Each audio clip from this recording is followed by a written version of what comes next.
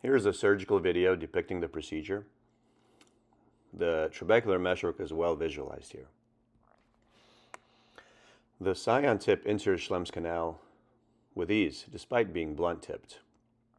Once I'm in the canal, I am able to move the tip of the device along the curvature of Schlemm's canal uh, to perform the goniotomy.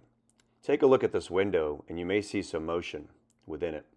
This is where the strip trabecular meshwork is accumulating within that trap. Again, I'm feeling no resistance and not getting caught or stuck anywhere, likely due to the tip being blunt. And usually at the toward the end of the goniotomy procedure, which is here, uh, you remove the goniotomy device and there's a long strip of meshwork that you have. And you could either leave it in place or remove it with microforceps. What's unique about the SION is that it actually will grasp the tissue within that trap and amputate it, as you just saw being done here. You're now looking at that ball of trabecular tissue within that trap.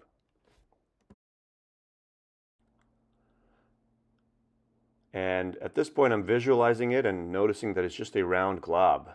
Uh, it looks like it's been coiled up or accordioned in that trap, and it's not really looking like a strip anymore.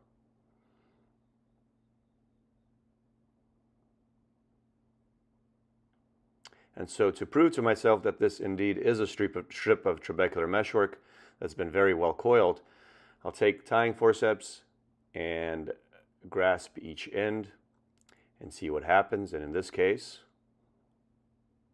you'll see that it unravels very nicely. And you do indeed have an entire excised trabecular strip all done without a blade.